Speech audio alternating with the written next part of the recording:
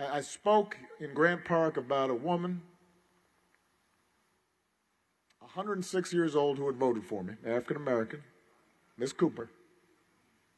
106. And I, and I tried to imagine everything that she had gone through in her life. Right? Born in the shadow of slavery, deep in the midst of Jim Crow.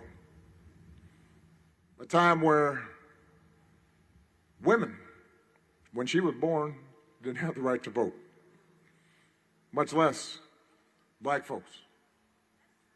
And yet, she described how she, the minute she had a chance to vote, had never missed, but, including up to the time where the first African American nominee of a major party had the chance to become president of the United States. She had witnessed all that. And I thought, now, if she's not tired, I can't be tired. Don't sit this one out and make sure you vote for Democrats up and down the ballot, including for state legislature, where a lot of important work actually gets done. I used to be a state legislator.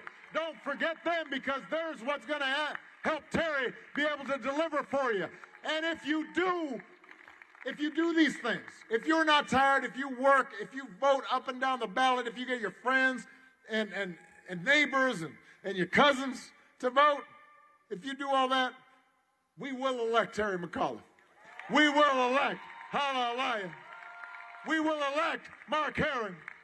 We'll build on our majorities in the state legislature. We'll keep Virginia on the path to a better future. I have faith in you. Have faith in yourselves. Get out there. Get to work. Yes, we can. God bless.